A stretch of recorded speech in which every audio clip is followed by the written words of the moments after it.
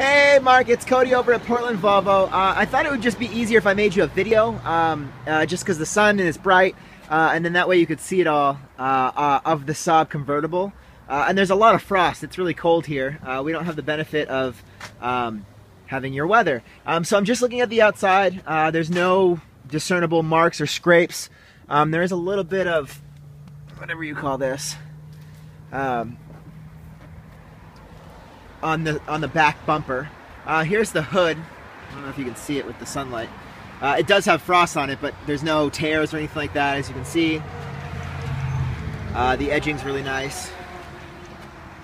Uh, again, there's just a little bit of frost because it's it's cold here. Uh, front looks really good. Bumper looks really clean. You know, your typical uh, this stuff. But that's, you know, if you're looking at it from the front, it's kind of underneath. Uh, I tried taking some pictures of the seats, that's why I decided to make just a video instead. Uh, this side looks really well, really nice. Yeah, and then we're back to the back. Oh, and then this side of the, as you can see, looks good, no tears or anything like that. It's kind of a bluish color. And then you asked for the seats. So this is the uh, passenger seat, obviously. Um, no marks or tears or anything like that. If that's what you were looking for. Uh, the back seats. It's really cold.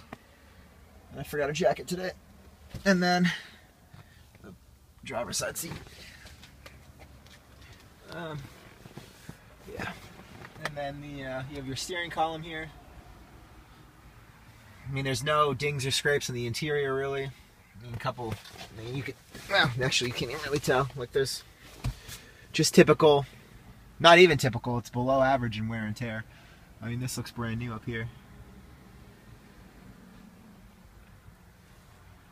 Cool, so let me know if you have any questions. And then this is the driver's side door. Uh, again, looks sharp. Uh, very nice car, great condition. Uh, drives real nice. So it's cold here in Maine. Um, yeah, cool. Let me know if you have any questions.